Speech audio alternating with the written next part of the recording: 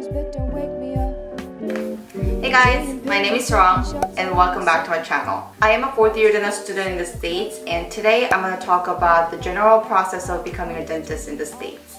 The information that I'm going to talk about today is fairly easy to find on the internet, but I thought I'll make a summary video for you guys so that you can save some time researching. And also I'll show you how I found this information. And one more thing, these dental school related videos will be made into a series. So I'll be talking in detail about how to prepare for the DAT, what extracurricular activities you can do, and how to do well on your dental school interviews and so on. Plus, I'll be sharing my experiences and thoughts about being a dental student along the way. So stay tuned for the future uploads. And feel free to let me know if you have any video requests in the comments. Alright, let's get started. So what I did was I googled the top occupation in the States and not surprisingly the dentist is number 4 on the list. And dentist was ranked second in best healthcare professions and 10th in best paying jobs. Um, I'm not sure how accurate this information is, but it says the median salary is 150k and less than 1% is unemployed. So it sounds like dentist is a pursuable job by numbers. So let's look at what dentists actually do. As you guys already know, dentists are doctors who specialize in oral health. According to ADA website, the main responsibilities of dentists are diagnosing oral diseases, promoting oral health and disease prevention, creating treatment plans, and performing surgical and non-surgical procedures on the teeth, bone, and soft tissue of the oral cavity. Does it sound like something you'll be interested in? If so, let's move on to how to get into dental school. Alright, if you are a pre-dental student and you're serious about getting into dental school, then I highly recommend you to go over the statistics of dental school admissions. Uh, this will give you a general idea what you're going to be dealing with for next year or two. It could be more than that. And that's what happened in my case. When I first prepared for the dental school, I didn't even look at the statistics. I just gathered information from acquaintance. I didn't really research deep enough and I think that was my mistake. So I hope you don't make the same mistake. So what you can do, you can just Google dental school statistics. I basically did that and you will see a lot of useful information. Also, ADA provides a dental school guide every year. It's not free, but I recommend to buy this book because it gave me an idea what school to choose because I was an international student and statistics of admissions of each school and how to plan for my application process. If you have pre-dental friends around, you can buy one book and then share together. That's the small tip that I can give you. And the more information you know about the application process in each dental school, the more you'll be prepared for this long journey ahead. So for the 2016 to 17 application cycle, there were 12,000 applicants nationally and 6,000 applicants got into dental school. That's roughly 50%, which sounds not that bad. But what you should think about is those people are top 10% of each college. So you're competing with those smart kids and you're the smart kid. I wouldn't say it's easy or hard to get into dental school because the dental school admission process is very complex. At least for me, it felt very difficult and I think most of the applicants feel the same way. But what I can say, it's really doable. So let's move on to specific requirements to apply within the school. So first, what you need to do is you need to take all the prereqs. These prereqs are different from school to school, but generally you need to take one year of biology, one year of general chemistry, one year of organic chemistry, one year of physics. They recommend you to take genetics, microbiology, anatomy, physiology, molecular biology, cell biology, biochemistry, immunology, histology, all the high-level biology classes. If you take those recommended courses, it's going to be much easier for you to study in dental school because you're just reviewing the subjects focusing on dental aspects and also it's getting more competitive to get into dental school each year so it's better to take all those recommended courses to boost up your chance to get it you don't have to be a science major as long as you take all the prereqs I was a bio major because there was a lot of courses overlapped for graduation and dental school prereqs. So I just wanted to save time and money because I was international student. But you can be an art major or history major as long as you take all the science courses.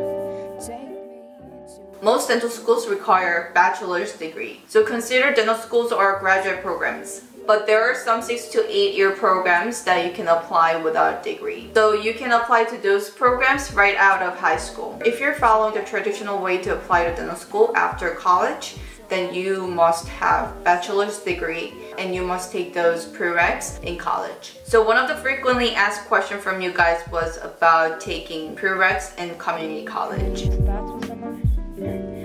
I can't even. This totally depends on what dental school you apply to. I personally haven't heard of it yet, but some schools may allow applicants to take prereqs and CC. To figure this out, you need to check the school website or you may have to send them an email. Here I'm talking about the general rules, but generally dental schools say all the science prereqs must be completed at four-year college or university in the States or Canada. If you're ready to some prereqs and CC, you may have to take upper level courses in four-year university or college. Unfortunately, for international students, you have to retake all the prereqs in the States or Canada. That's what I did. But there is a way, which if you are already a dentist in foreign country, then you don't have to retake all the prereqs. I'll talk more about this next time. And you need to take the DAT. DAT.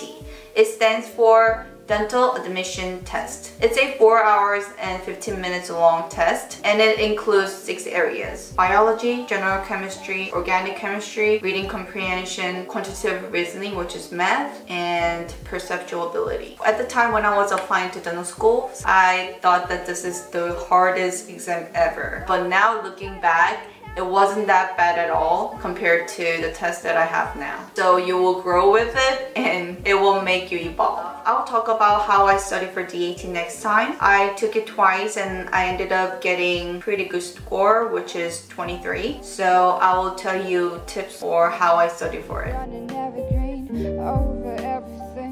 If you ask me, would I be able to get into dental school with good GPA and DAT score? My answer is yes and no. Because dental school admissions is much more than just grades. It is much more complex and dental school look at a lot of different factors. So, extracurricular activities are important. Most of people, probably 99% of people will have good grades. So you will need to think that good GPA and good DAT is the baseline that you need to have, just a qualification to apply to dental school. What makes you stand out of crowd is extracurricular activity. This includes community service, shadowing experience, research experience, and so on. I did have a lot of community service hours and extensive shadowing and working experience. And I was actively involved in research while I was getting my master's. Do whatever you think will make you stand out. Because you want to show admission committees that you are not just book smart person and beyond that you have other obligations outside of academics. I really think that this is the key. You know, it's, it's kind of complicated. Personal statement. Personal statement is very important as well because this will show the admission committee what kind of person you are. You're basically summarizing your life and connecting your past experience to dentistry. There is a guideline on ADEA website once you're done writing, make all of your friends, family, even professors read it so that you can get diverse feedback. I edited mine more than 10 times, so it's quite a process.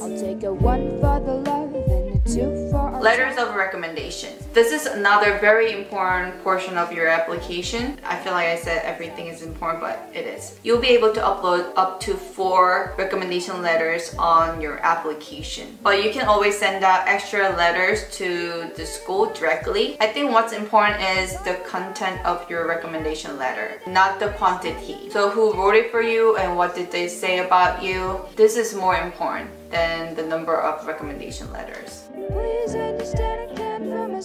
For the dental school in the States, you apply once a year. Application cycle opens up in early June. So you wanna be prepared for the application before it opens. And each school has different deadlines, but I highly recommend you to just submit everything in early June and try to complete your application by maybe July. I didn't know this when I first applied to dental schools. I applied like in September and finished my application right before the deadline which is December which is stupid. Don't do that. You're wasting your time and money. I try to complete your application as soon as possible. That will increase your chance to get interview invitation.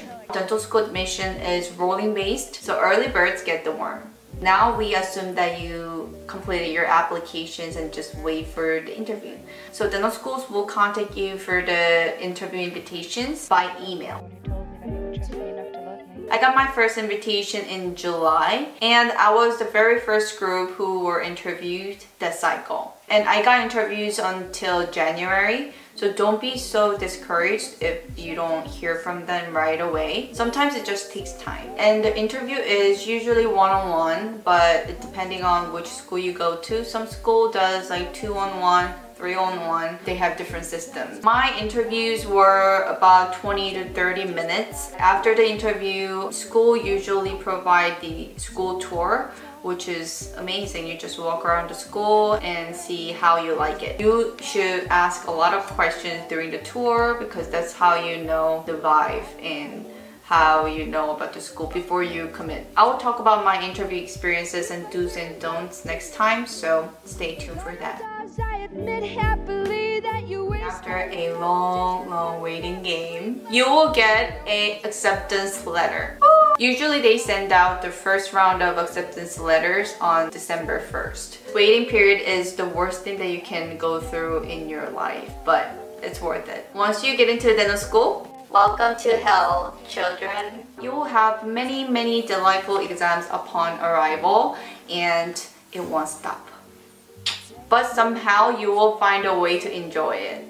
So don't worry too much, you will be just fine. After four years of crying, no, I'm in dental school, uh, you will become a dentist. Of course, you will have to take national board exams and other required exams depending on where you want to work. It's all good. You're gonna be called doctor. So this is the general process of becoming a dentist in the States.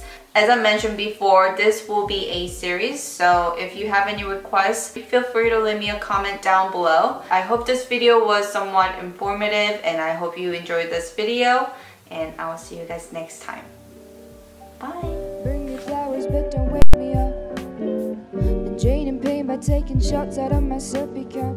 Guess cough syrup was not enough Cause I keep coughing up what it was to be us Catching all my tears when I cry. I use them to keep your flowers alive